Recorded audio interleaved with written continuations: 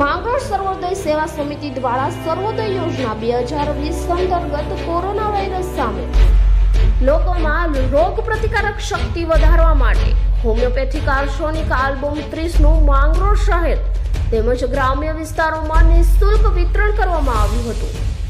સર્વોદય સેવા સમિતિના સંચાલકો દ્વારા મળતી માહિતી મુજબ, હાલ ભારત સરકાર શ્રીના આદેશ અને આયુષ્માન યોજનાના અંતર્ગત ટર્મરિક આલ્બમ ત્રીસનું સેવન નરના કોઠે કરવાથી રોગ પ્રતિકારક શક્તિમાં વધારો થાય છે.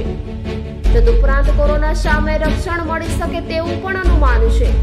આ ઉપરાંત આ કેમ્પો માંગરોળ સીલ મુક્તપુર, લોહિત સહિતના ગામોમાં યોજાય.